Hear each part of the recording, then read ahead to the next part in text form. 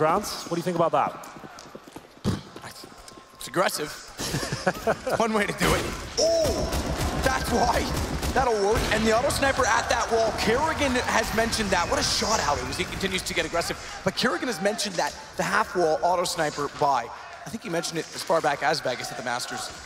But allu continues to be aggressive inside of middle, makes it pay off very fast. He's coming alive. Yeah, he's looking great at the moment on Inferno, and that's a lot of damage for Babe taking the Molotov as well. This is round number 15, no saving now, have to go for it. The auto sniper still patrolling towards B as well, but the terrorists are actually waiting in middle. Smoke will be deployed as well. That's going to be a thorn in their side, and another great shot from allu. Hits the fourth as well, looking for the ace! allu delivers in round number 15. What an amazing performance in the first half from him.